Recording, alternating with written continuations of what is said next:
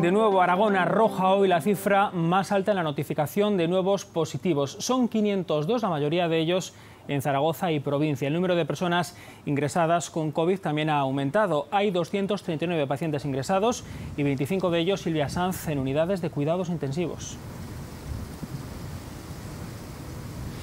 Sí, eso supone el doble de personas hospitalizadas respecto al lunes pasado. Solo aquí en el Miguel Servet hay nueve pacientes en la UFI y ahora mismo la capacidad de camas disponibles en las unidades de cuidados intensivos en Aragón están a la mitad de su capacidad. Durante este fin de semana en todos los hospitales de la comunidad, excepto en Calatayud y en Egea, se han sumado nuevos ingresos y llama la atención la situación del obispo Polanco de Teruel. El lunes pasado había una persona hospitalizada y hoy ya son 16. Aún así, la provincia de Sigue siendo la que más positivos notifica. Otros 502 nuevos casos de coronavirus en Aragón en las últimas horas, la mayoría en la provincia de Zaragoza con